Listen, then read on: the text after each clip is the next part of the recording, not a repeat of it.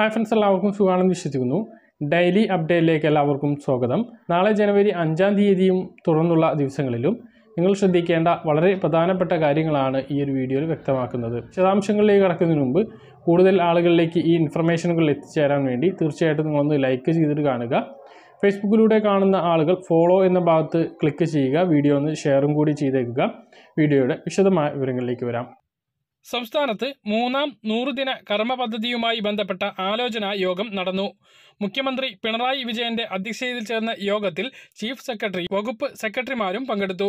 രണ്ടായിരത്തി ഇരുപത്തിരണ്ട് ഇരുപത്തിമൂന്ന് സാമ്പത്തിക വർഷത്തെ ബജറ്റിൽ പ്രഖ്യാപിച്ച എല്ലാ പദ്ധതികളും നടപ്പിലാക്കി എന്ന് ഉറപ്പുവരുത്തണമെന്നും മുഖ്യമന്ത്രി പറഞ്ഞു. പദ്ധതി ജനപങ്കാളിത്തത്തോടെ നടപ്പിലാക്കുമെന്നും അദ്ദേഹം പറഞ്ഞു. ഫെബ്രുവരി പത്തിന് ആരംഭിച്ച് മന്ത്രിസഭയുടെ രണ്ടാം വാർഷിക ദിനമായ മെയ് ഇരുപതിന് അവസാനിക്കുന്ന വിധത്തിലാണ് പരിപാടി ആസൂത്രണം ചെയ്യുക.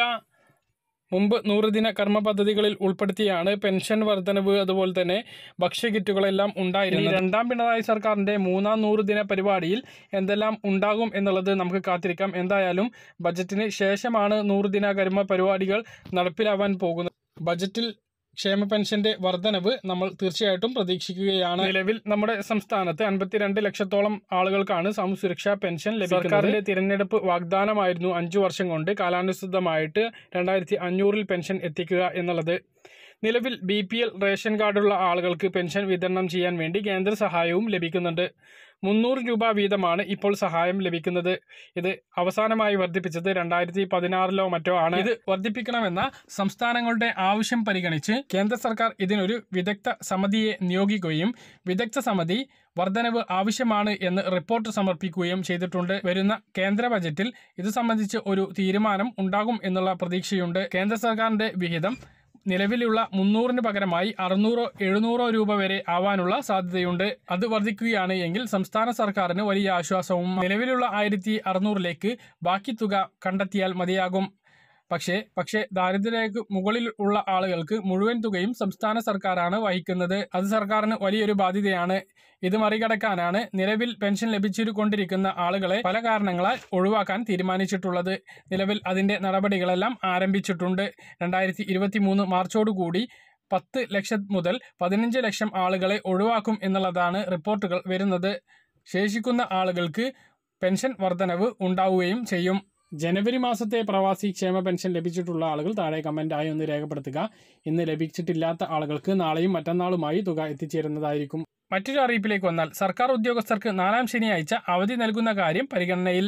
ചീഫ് സെക്രട്ടറിയും വകുപ്പ് സെക്രട്ടറിമാരും പങ്കെടുത്ത യോഗത്തിലാണ് ഇത് സംബന്ധിച്ച നിർദ്ദേശം ഉയർന്നത്. വിഷയം ചീഫ് സെക്രട്ടറി സർവീസ് സംഘടനാ നേതാക്കളുമായി ഈ മാസം പത്തിന് ചർച്ച ചെയ്യും. രണ്ടാം ശനിയാഴ്ച നേരത്തെ തന്നെ അവധിയാണ്. നാല് ശനിയാഴ്ചകളിലും അവധി നൽകാനുള്ള ശ്രമത്തിന്റെ ആദ്യ പടിയെന്നോണമാണ് ഈ നീക്കം. ഇത് പൂർണമായിട്ടും നടപ്പിലാകുകയാണെങ്കിൽ ആഴ്ചയിൽ രണ്ട് ദിവസം സർക്കാർ ഉദ്യോഗസ്ഥർക്ക് അവധി തീരുമാനത്തെക്കുറിച്ച് എന്റെ അഭിപ്രായം പറയുകയാണെങ്കിൽ അംഗീകരിക്കാനാവാത്ത ഒരു തീരുമാനമാണിത്.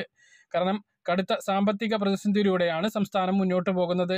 ആ സമയത്ത് സർക്കാർ ഏറ്റവും കൂടുതൽ ശമ്പളം നൽകുന്ന ആളുകൾക്ക് പണിയെടുക്കാനുള്ള ദിവസം കുറക്കുക എന്നുള്ളത് തികച്ചും സാധാരണക്കാരായ ജനങ്ങളോടുള്ള ക്രൂരമായ നടപടിയാണ്. മറ്റൊരു അറിയിപ്പ്. സർവീസിലിരിക്കെ മരണപ്പെട്ടയാളുടെ ആശ്രിതർക്ക് നേരിട്ട് നിയമനം നൽകുന്നതിന് ആശ്രിത നിയമനം നിയന്ത്രിക്കാൻ ആലോചന വിഷയം ചർച്ച ചെയ്യാൻ സർവീസ് സംഘടനകളുടെ യോഗം ചീഫ് സെക്രട്ടറി വിളിച്ചിട്ടുണ്ട്. മുഖ്യമന്ത്രിയുടെ നിർദ്ദേശപ്രകാരമാണ് യോഗം വിളിച്ചത്. സർവീസിലിരിക്കെ മരിച്ച ആളുടെ ആശ്രിതർക്ക് ഒരാൾക്ക് ഒരു വർഷത്തിനുള്ളിൽ ജോലി സ്വീകരിക്കാമെങ്കിൽ അവർക്ക് മാത്രം ആശ്രിത നിയമനം പരിമിതപ്പെടുത്താനാണ് ആലോചന.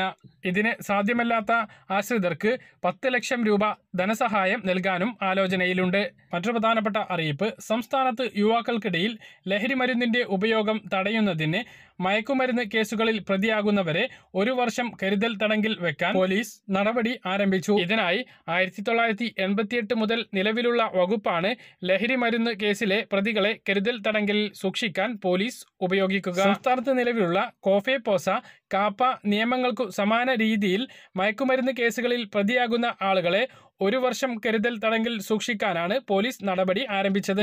കേന്ദ്ര നിയമം ഇന്ത്യയിൽ ഒരിടത്തും ഇതുവരെ നടപ്പിലാക്കിയിട്ടില്ല. എറണാകുളം റൂറൽ ജില്ലയിലാണ് ലഹരി മരുന്ന് കേസ് പ്രതികൾക്കെതിരെ കരുതൽ തടങ്കൽ വകുപ്പ് ആദ്യം പ്രയോഗിച്ചത്. അറസ്റ്റിലാകുന്ന ലഹരി വിൽപ്പനക്കാരെ ഒരു വർഷം കരുതൽ തടങ്കലിൽ വെക്കുമ്പോൾ ലഹരി റാക്കറ്റ് ദുർബലമാകുമെന്നാണ് പ്രതീക്ഷിക്കുന്നത്. മറ്റൊരു അറിയിപ്പ്. സംസ്ഥാനത്തെ സ്വകാര്യ ആശുപത്രികളിലെ നഴ്സിംഗ് ജീവനക്കാർ വീണ്ടും സമരത്തിലേക്ക്. പ്രതിദിന വേതനം ആയിരത്തി അഞ്ഞൂറ് രൂപയാക്കി വർദ്ധിപ്പിക്കണം എന്ന ആവശ്യപ്പെട്ടാണ് നഴ്സിംഗ് ജീവനക്കാർ വീണ്ടും സമരത്തിന് ഇറങ്ങുന്നത്. സമരത്തിന്റെ ആദ്യപടിയായി നാളെ തൃശൂർ ജില്ലയിലെ സ്വകാര്യ നഴ്സിംഗ് ജീവനക്കാർ സൂചന പണിമുടക്ക് നടത്തും. ഒ പി ബഹിഷ്കരിക്കും. സമരത്തിൽ നിന്നും അത്യാഹിത വിഭാഗങ്ങളെ ഒഴിവാക്കും. ആവശ്യങ്ങൾ അംഗീകരിച്ചില്ല എങ്കിൽ സംസ്ഥാന വ്യാപകമായി സമരത്തിനിറങ്ങാനാണ് നെയ്സ് നെയ്സിം ജീവനക്കാരുടെ സംഘടനയായ യു എൻ എയുടെ തീരുമാനം. സംസ്ഥാനത്ത് ഇന്നലെ ആരംഭിച്ച ഭക്ഷ്യസുരക്ഷാ വകുപ്പിന്റെ പരിശോധന ഇന്നും തുടർന്നു. കണ്ണൂരിൽ അൻപത്തി ഒൻപത് ഹോട്ടലുകളിൽ നിന്നും പഴകിയ ഭക്ഷണം പിടികൂടി. പുഴുവരിച്ചതും പഴകിയതുമായ ഭക്ഷ്യവസ്തുക്കളാണ് പിടികൂടിയത് എന്നും ഇതിൽ ചിക്കൻ വിഭവങ്ങളാണ് കൂടുതൽ എന്നും ആദ്യമായാണ് ജില്ലയിൽ ഇത്രയും പഴകിയ ഭക്ഷ്യവസ്തുക്കൾ പിടിച്ചെടുക്കുന്നത് എന്നും ഭക്ഷ്യസുരക്ഷാ വകുപ്പ് ഉദ്യോഗസ്ഥർ പറഞ്ഞു.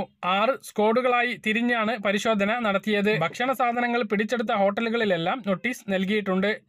മറുപടി കിട്ടിയ ശേഷം തുടർ നടപടികൾ സ്വീകരിക്കും എന്നും ഉദ്യോഗസ്ഥർ പറഞ്ഞു. മറ്റൊരു പ്രധാനപ്പെട്ട അറിയിപ്പ്. കൊറോണ വൈറസ് തലച്ചോറിലേക്ക് പോലും വ്യാപിക്കുമെന്ന് പഠന റിപ്പോർട്ട്. രോഗം വന്ന് പോയ ശേഷം എട്ട് മാസത്തോളം മനുഷ്യ ശരീരത്തിൽ കൊറോണ വൈറസിന്റെ സാന്നിധ്യം ഉണ്ടാകും എന്നാണ് കണ്ടെത്തൽ. കൊറോണ ബാധിച്ച് മരിച്ചയാളുടെ മൃതദേഹ പോസ്റ്റ്മോർട്ടം നടത്തിയതിൽ നിന്നാണ് നിർണായക കണ്ടെത്തലുകൾ നടത്തിയിട്ടുള്ളത്. അമേരിക്കയിലെ നാഷണൽ ഇൻസ്റ്റിറ്റ്യൂട്ട് ഓഫ് ഹെൽത്തിന്റെ കീഴിലാണ് പഠനം നടത്തിയത്. മറ്റു പ്രധാനപ്പെട്ട അറിയിപ്പ്. പ്രധാന കേന്ദ്ര സംസ്ഥാന സാമ്പത്തിക പ്രശ്നങ്ങൾ സംബന്ധിച്ച് കേന്ദ്രമന്ത്രിക്ക് നിവേദനം നൽകാൻ മന്ത്രിസഭാ യോഗം തീരുമാനിച്ചു. സംസ്ഥാന സർക്കാരിന്റെ കടമെടുപ്പ് പരിധി രണ്ടായിരത്തി പതിനേഴിന് മുമ്പുള്ള സ്ഥിതിയിലേക്ക് പുനഃസ്ഥാപിക്കണമെന്ന് കേന്ദ്ര സർക്കാരിനോട് ആവശ്യപ്പെടും. മറ്റൊരു പ്രധാനപ്പെട്ട അറിയിപ്പ്. രാജ്യത്ത് ബാങ്കിംഗ് സ്ഥാപനങ്ങളുടെ സ്വകാര്യവൽക്കരണത്തിന് തയ്യാറെടുക്കുകയാണ് കേന്ദ്ര സർക്കാർ. ഏതെല്ലാം സ്ഥാപനങ്ങൾ സ്വകാര്യവൽക്കരിക്കുമെന്നും ഏതെല്ലാം സ്ഥാപനങ്ങളെ ഒഴിവാക്കും എന്നും നീതി ആയോഗ് പ്രഖ്യാപിച്ചു. Punjab national bank union bank Canara bank state bank of India Indian bank bank of Baroda എന്നിവയാണ് ലിസ്റ്റിൽ നിന്നും ഒഴിവാക്കിയിട്ടുള്ളത്. രണ്ട് പൊതുമേഖല ബാങ്കുകളായ രണ്ട് പൊതുമേഖല ബാങ്കുകളെയും ഒരു ജനറൽ ഇൻഷുറൻസ് കമ്പനിയെയും സ്വകാര്യവൽക്കരിക്കും കേന്ദ്രമന്ത്രി നിർമ്മല സീതാരാമൻ ബജറ്റ് പ്രസംഗത്തിൽ പ്രഖ്യാപിച്ചിരുന്നു. ഭരണഘടനയെ തരം താഴ്ത്തി പറഞ്ഞതിൽ നിന്നും മന്ത്രിസഭയിൽ നിന്നും രാജിവെച്ച മുൻ മന്ത്രി സജി ചെറിയാൻ വീണ്ടും മന്ത്രിയാതി വീണ്ടും മന്ത്രിയായി സത്യപ്രതിജ്ഞ ചെയ്തു. മുഖ്യമന്ത്രി പിണറായി വിജയൻ മന്ത്രിമാരായി മന്ത്രി പിണറായി വിജയൻ മന്ത്രിമാർ സ്പീക്കർ എൽ ഡി എഫ് നേതാക്കൾ എന്നിവർ ചടങ്ങിൽ പങ്കെടുത്തു. യു ഡി എഫ് ചടങ്ങ് ബഹിഷ്കരിച്ചു. ഇന്നും സ്വർണവില വർദ്ധിച്ചു. ഗ്രാമിന് ഇരുപത് രൂപയാണ് വർദ്ധിച്ചത്.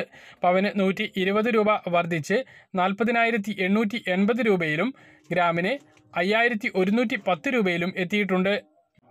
പറഞ്ഞ കാര്യങ്ങൾ കൃത്യമായിട്ട് മനസ്സിലാകണമെന്ന് കരുതുന്നു. ഇതുപോലുള്ള ഇൻഫർമേഷൻ ലഭിക്കാൻ ചാനൽ സബ്സ്ക്രൈബ് ചെയ്യുക ബെലൈക്കൻ എനേബിൾ ചെയ്ത് വെക്കുക. മറ്റൊരു വീഡിയോയുമായി നമുക്ക് വീണ്ടും കാണാം. ഇതുവരെയും ബൈ